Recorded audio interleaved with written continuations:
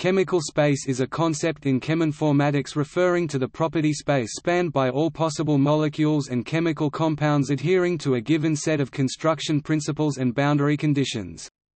It contains millions of compounds which are readily accessible and available to researchers. It is a library used in the method of molecular docking.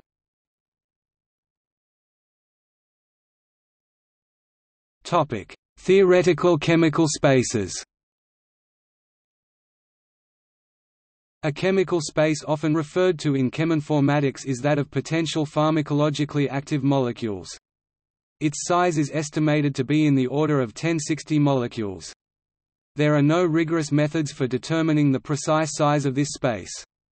The assumptions used for estimating the number of potential pharmacologically active molecules, however, use the Lipinski rules, in particular the molecular weight limit of 500. The estimate also restricts the chemical elements used to be carbon, hydrogen, oxygen, nitrogen and sulfur.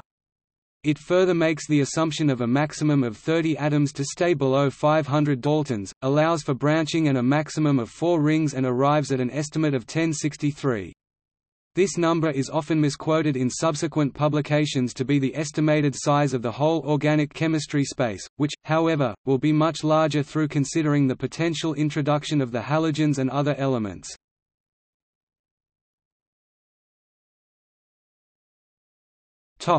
Concrete chemical spaces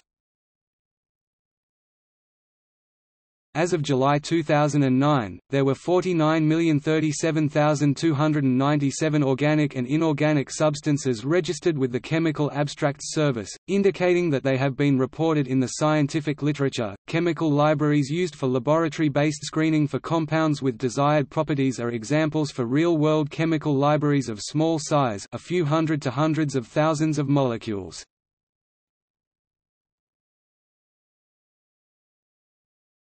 Topic: Generation of chemical spaces. Systematic exploration of chemical space is possible by creating in silico databases of virtual molecules, which can be visualized by projecting multi-dimensional property space of molecules in lower dimensions.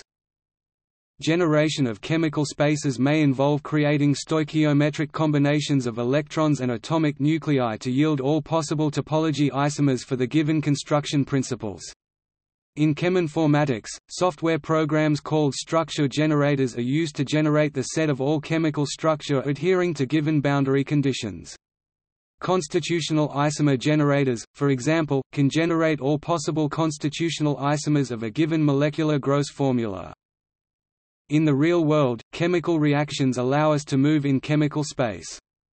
The mapping between chemical space and molecular properties is often not unique, meaning that there can be very different molecules exhibiting very similar properties. Materials design and drug discovery both involve the exploration of chemical space.